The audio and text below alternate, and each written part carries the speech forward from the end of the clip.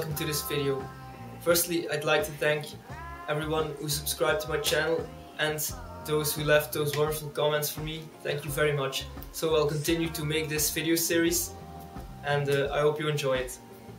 In this video we'll be continuing work on the rear Y section of the chassis. Specifically we'll be working on the rear shock absorber mounts and the rear crossbar. So uh, I'll show you what I'm doing. This is the rear Y section of the chassis with the rear crossbar and the rear shock absorber mounts. This bar would have been welded to the mounts themselves, but I got the bar from the mounts because it's very rusted, it has been repaired very badly and it's crooked. So this will go in the bin. The shock absorber mounts themselves are pretty good, so I will be replacing the original U channel with a, a box section. This will be a lot stiffer but will be a little bit heavier. One of the jobs on the rear suspension that's a real pain is removing the crossbar. It's bolted to the chassis with two bolts on either side and you have to put the nuts in from the rear of the chassis but because of the bolt holes are very close to the bends in the chassis, it's very difficult to get a wrench on them, so it can take quite a long time. My solution is I'll be welding nuts to the back of the chassis, so I won't have to put a wrench in the back every time, I can just bolt the crossbar on. To facilitate me welding the nuts on the back of the chassis, I will be removing these strengthening plates. These have to be removed anyway because, as with the engine mount plates, there's a, a, bit of rust between those two plates and I like to remove it and then weld it back on. While the plate's off, I have better access to the back of the chassis to weld those nuts on.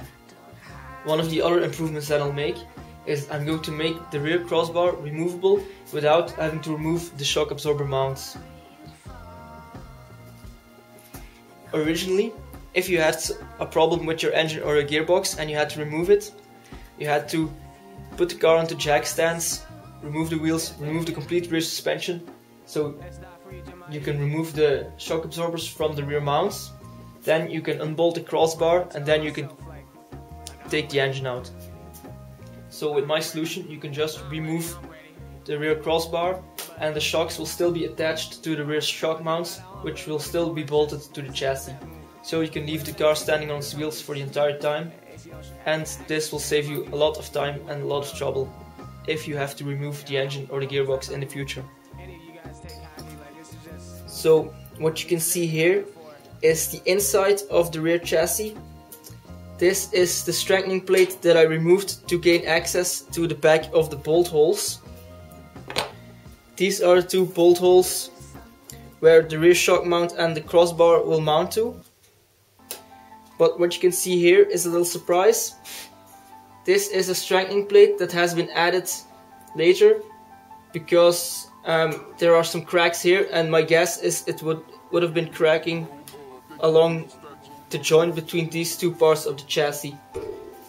So there's one plate here and one plate here and I'll leave them in place because they strengthen up the rear parts very good. The other side of the chassis doesn't have these strengthening plates. So I've made these strengthening plates myself and I'll attach them to the other side of the chassis because if this side has failed, the other side will too. Here you can see the two mounting holes for the shock mount. This is the original nut that you had to get in here from the rear, use your wrench and tighten it, but it's very difficult because it's very close to the edge. This is a new nut that I will be welding to the back of the chassis. It's not a nylock nut because if you weld a nylock nut to the chassis, chances are because of the heat the nylon will melt and seep out. So I'll be using a regular nut to weld on the back so you won't have any problems attaching the shock mounts. The strengthening plate that I removed has a bit of rust on it so this will go in the bin and I made these they're an exact copy of the ones that I took off So these will, will replace the original ones. This nut is also zinc plated. I ground off the zinc plating on the sides to make it easier for welding. So as you can see, I've welded the nuts on the back of the chassis and I've cleaned off most of the rust on the inside of the chassis. I've done this because once the plate's weld back on, it's very hard to reach this spot. Now before I will weld this plate back on, I will spray these surfaces and the back of the contact points of the strengthening plate with the zinc spray because the areas in between the plates have to be painted before it's welded. Now I'm going to mask off the areas of the chassis that I'm not going to spray with the zinc spray because I don't want too much overspray on the inside of the chassis or on the threads of the nuts Fate to restate my peace, made a peace, made break and bleed space on my clean slate. Well, it's apologies of Trillo off the wall, gave my body, soul, and mind. And then I left it up to y'all. When a nigga blow up, they gon' build statues by me.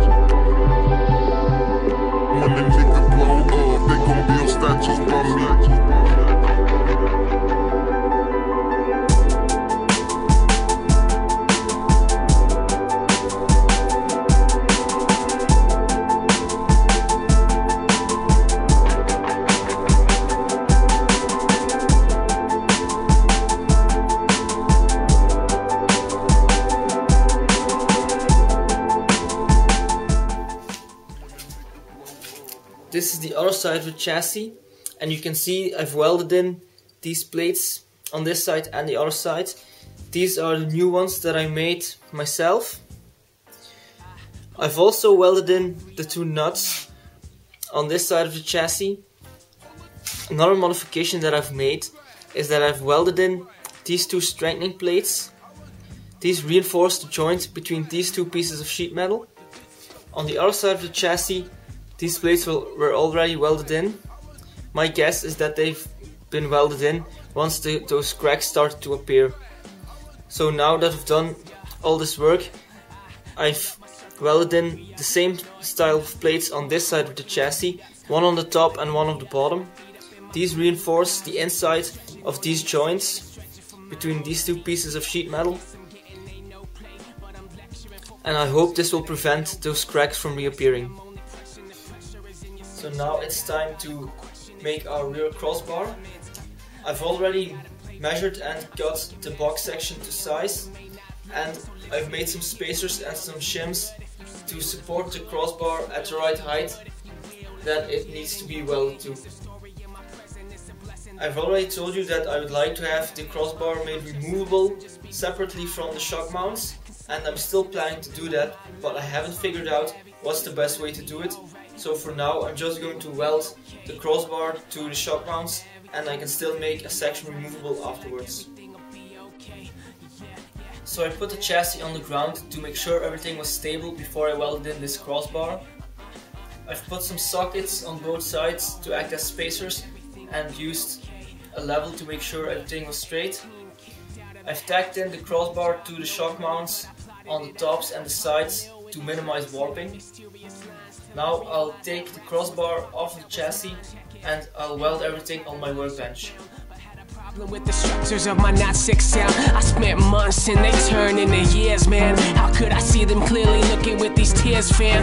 Nope, never again, never would I pretend. Whether it's for a million, whether it's for like ten. Cause see, I'm learning that everything is the best. By everything, no, I mean about everything that I stress. Uh, I'm flipping negative.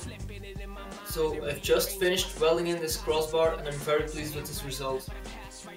I'm still thinking about making section of this crossbar removable to make the engine installation easier, but I'm not quite sure because I like this clean look of the crossbar.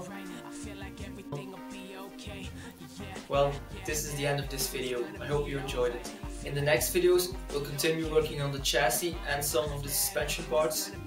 I've been slowly accumulating a lot of parts for the suspension and the engine mounts, but I'll show you this in the upcoming videos.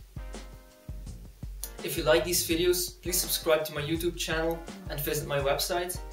If there are any questions or if you have any requests on what you would like me to show you on my videos, please leave a comment below or send me an email through my website. Thank you very much for watching and I'll see you next time. Goodbye. Quiet. Oh, look.